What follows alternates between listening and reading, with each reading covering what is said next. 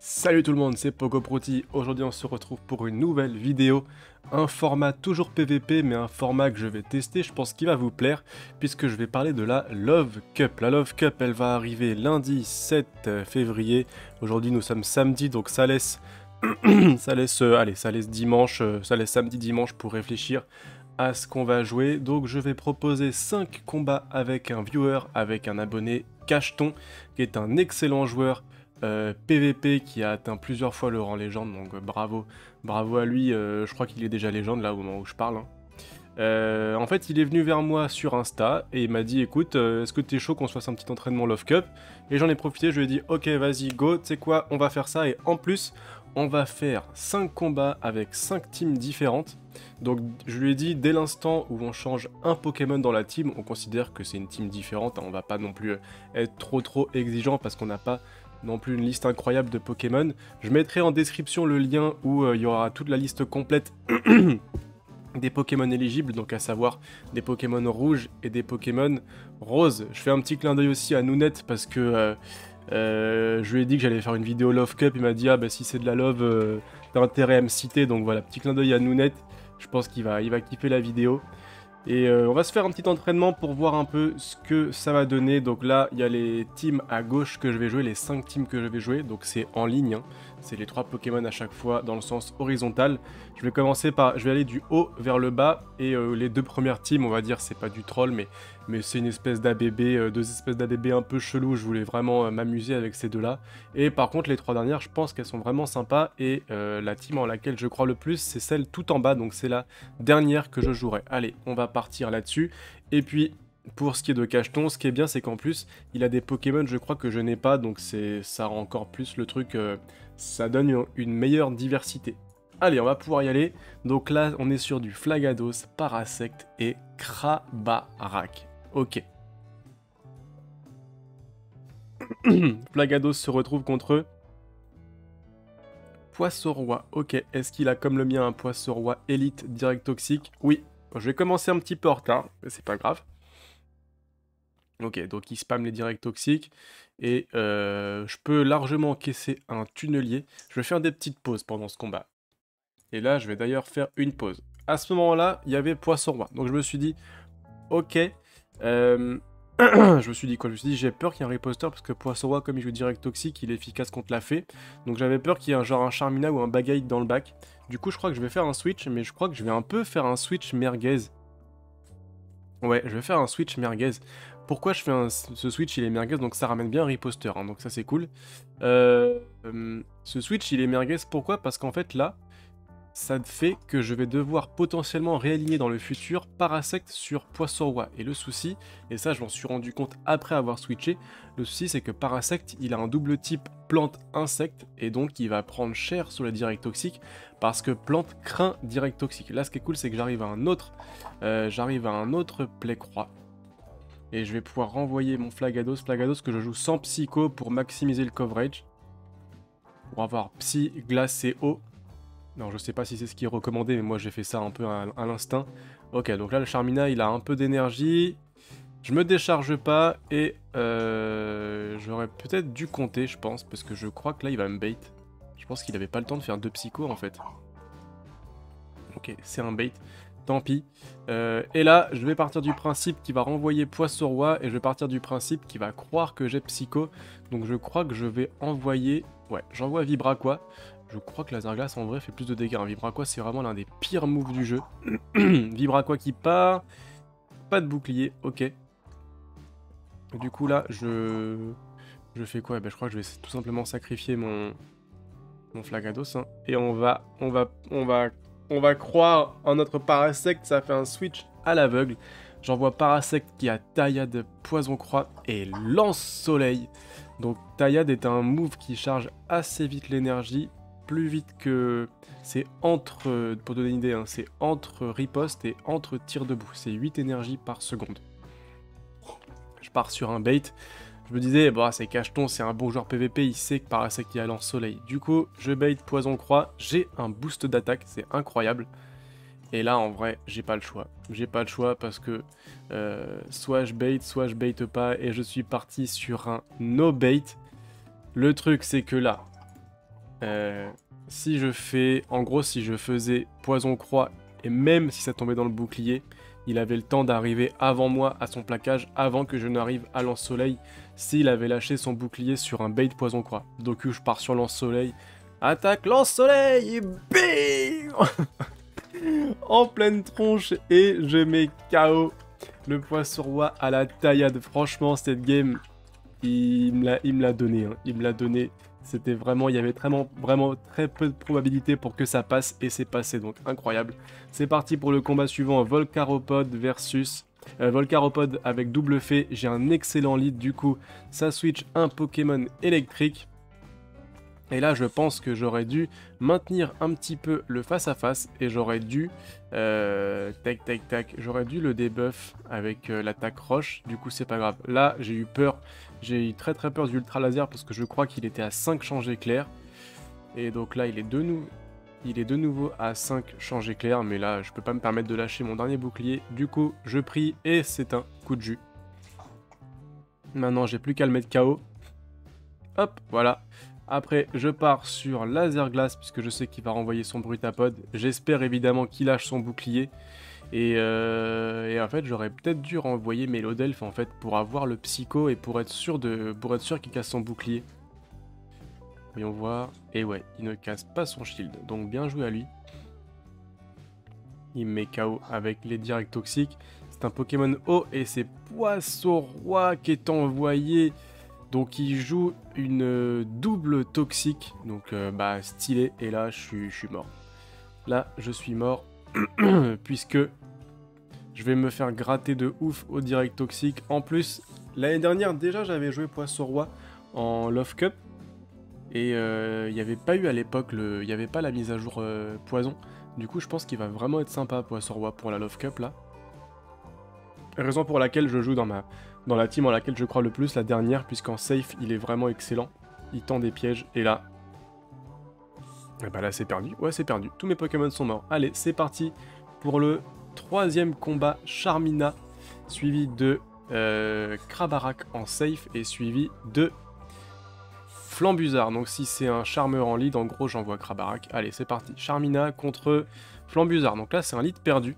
Et comme je suis un peu dans le pâté, le pâté de campagne, je me dis que je vais call, euh, je vais le nitro charge. Tant pis, j'ai pas vraiment le choix. Il est recommandé avec euh, point boost, hein, mais moi j'ai eu la flemme de lâcher une, de craquer une CT chargée.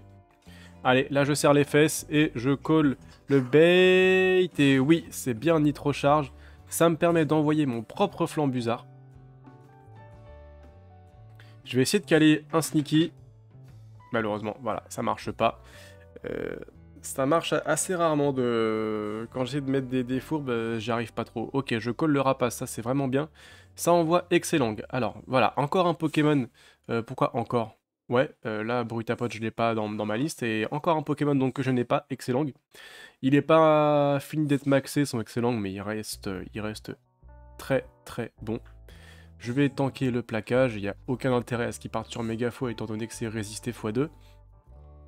Et là, euh, tout est une question eh bien, de timing. Je pense que je peux arriver à deux nitrocharges avant qu'il n'arrive à... un autre plaquage. Nitrocharge numéro 2 qui part. Hop, ouais, c'est bien ça.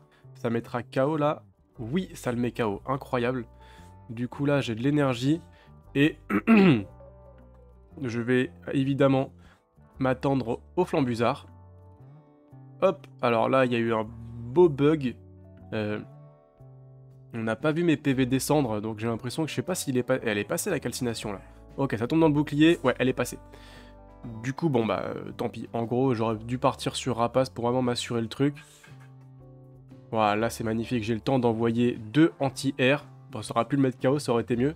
Là, je colle le Rapace, yes. Et là, je fais un switch à l'aveugle sur Charmina. Magnifique. Et c'est un bagaille qui est envoyé. Je me prends une première fourbe.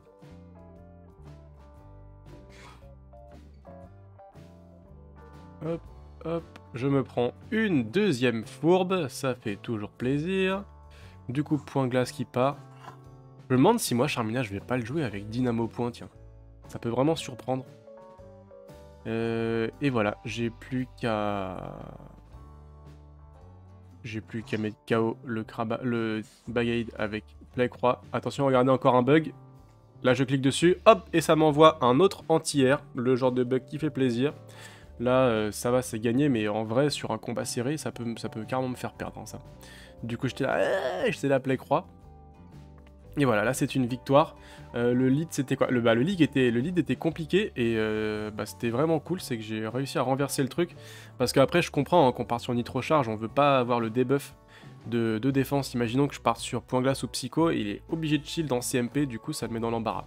Allez, c'est parti pour Migalos, Electrode et Charmina. Migalos qui spam de ouf, et c'est un Charmina en lead. Donc c'est c'est un bon lead parce que je résiste doublement à riposte, mais en même temps, faut faire vachement attention à Psycho. Donc là, je crois qu'il est parti avec un peu de retard. Je pars sur Furibon, et bon, au final, bah, il se rattrape puisqu'il me cale un, une fourbe encore en riposte. Ça part sur Furibon, et c'est 8 ripostes pour le Charmina pour envoyer Psycho. Donc je crois que c'est... Ouais, là il est à 8, et moi, ça va. En retour, là c'est cool. Euh, je, cale, je cale aussi un direct un, d'Arvenin. Je colle le Psycho, ça c'est vraiment cool. Et ça m'envoie un Pokémon électrique, ça m'envoie euh, Electrode. Donc j'ai envoyé deux Darvenin, ce qui équivaut à 4 tours. Et pareil pour le changer clair, et malheureusement il y en a un deuxième qui est passé. Et là j'ai voulu catch un coup de jus, évidemment on se tape un énorme bug, du coup bah il se passe n'importe quoi, un, un, énorme bug. J'ai voulu catch le coup de jus sur le troisième changer clair. Et là, je colle encore le fait qu'il n'est pas ultra laser, et il a bien tricherie, donc ça c'est vraiment cool. et là, euh, ni lui ni moi ne savons, euh, savons où est-ce qu'on en, où on en est hein, par rapport à nos énergies. Et tricherie numéro 2 qui part, je vais pouvoir charger un aller-retour. Le mettre KO à la tricherie, voilà. Encore une petite latence qui fait plaisir. Et après, je pense que je vais partir à l'aveugle sur, euh, sur coup de jus.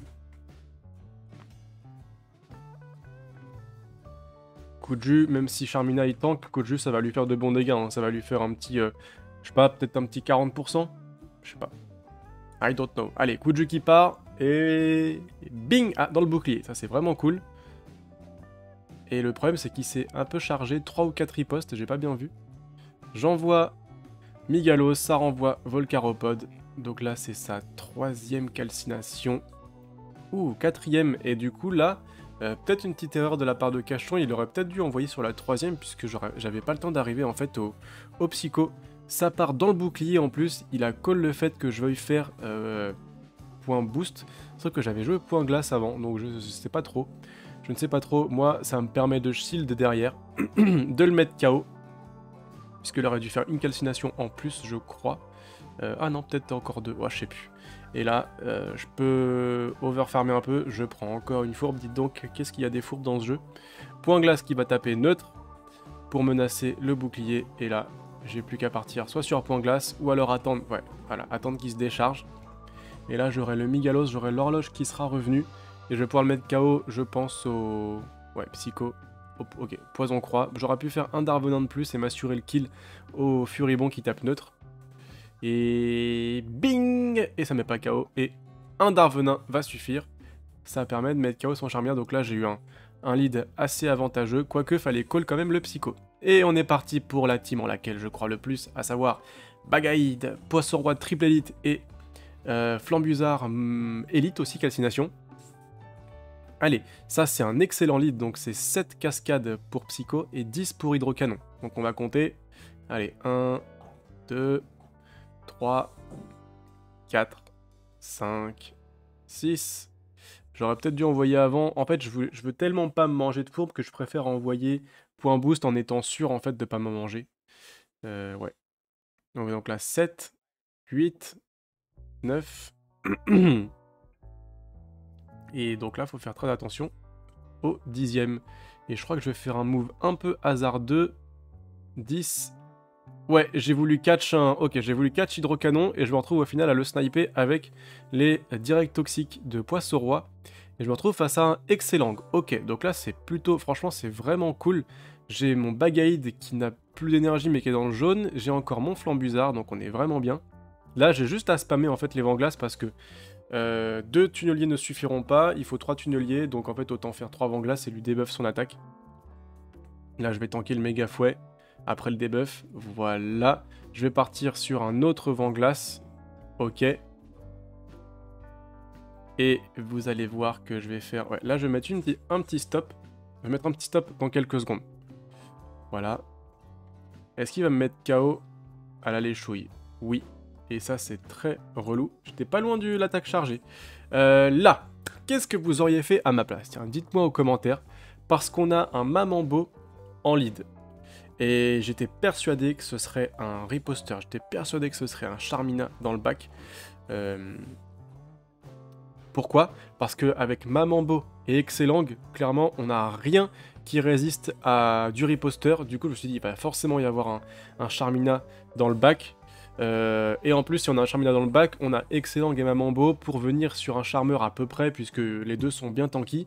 Du coup, je me suis dit, je vais envoyer mon Bagaid pour tanker l'attaque du Excellang. En plus, il est debuff. Et après, j'aurais plus qu'à mettre mon Flambuzard, Pépouze, la Frimouze. Donc ça, c'était mon call et on va voir si c'est bien le cas. J'envoie donc Bagaïd, je ne cale pas de riposte, ça c'est très dérangeant. Et là je me suis dit, allez, je vais envoyer mon flambuzard à l'aveugle. Plaquage qui part, tac, ça me met dans le rouge. Et c'est un Volcaropod. Alors clairement ça, je l'ai pas du tout, pas du tout call. Réussir à avoir un combat aussi merguez alors que j'ai un Bagaïd qui vient sur toute sa team. Ah, j'ai réussi à caler. Bon, pour une fois que je cale un sneaky, ça sert à rien, quoi. C'est sur le wall total Volcaropod. Donc là, bah, je peux rien faire. Je peux rien faire. Dis donc, je cale une deuxième calcination, ça c'est vraiment bien. Mais bon, je Je me fais one shot par ton broche, en plus ça me débuffe mon attaque, je suis vraiment cuit. Là en plus, j'aurais dû envoyer mon attaque puisque maintenant je me retrouve...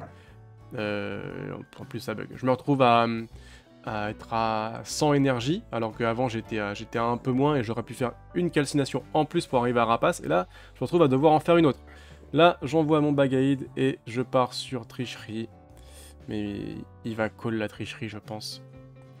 Et attention, et dans le bouclier. Donc bien joué à Cacheton. Euh, là clairement, bah en fait j'aurais vraiment pas dû me prendre la tête. Le excellent était double debuff. Parfois ça sert à rien de faire des plans sur la comète, il faut juste...